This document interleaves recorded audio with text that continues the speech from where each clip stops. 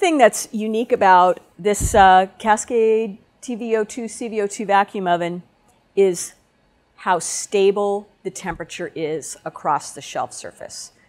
So I don't care what vacuum oven it is, temperature control and temperature uniformity is very difficult to do. So Cascade goes above and beyond in making sure that the temperature stability in our oven is as, as good as it can be. A lot of vacuum ovens will what we call overshoot temperature. That means that if, let's say you want to go to a set point of say 105 degrees, that's your processing temperature. A lot of vacuum ovens will race to 105 and overshoot or pass that temperature and then settle down. We consider that to be a potential to, to damage temperature sensitive products. So when, when a cascade oven is reaching its temperature, it does so in a very slow and methodical way. It reaches the, the temperature set point like this, not overshooting and then settling back down.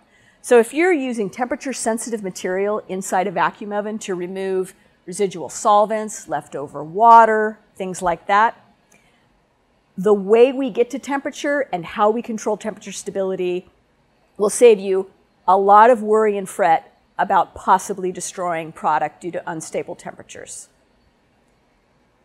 The other item that's unique about the Cascade vacuum ovens is that Cascade puts the temperature probe inside the oven. And I'll show you a close-up shot of the probe in our TVO2.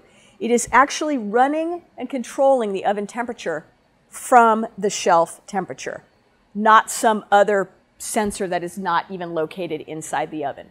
When you're shopping around for vacuum ovens, make sure that the temperature probe is located inside the oven where the action is, especially if you're running temperature sensitive material. If you have any questions about this process, feel free to give us a call. Myself or Kat would be happy to help you, or visit our website, send us an email. We'll make sure that we get you pointed in the right direction.